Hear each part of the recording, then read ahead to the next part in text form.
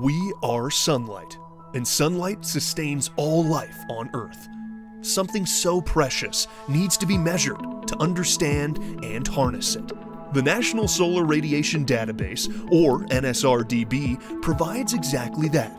It uses the latest science to determine how much sunlight reaches the Earth. It detects clouds and their movements, measures surface reflection, pollution and aerosols, and other parameters that influence sunlight.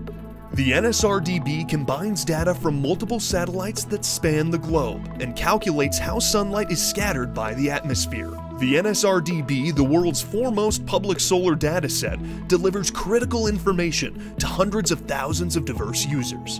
It is a public good, freely accessible for the benefit of everyone, so that science can progress and renewable energy can shine. For dependable solar data for our clean energy future, we have the NSRDB. Visit nsrdb.nrel.gov to learn more.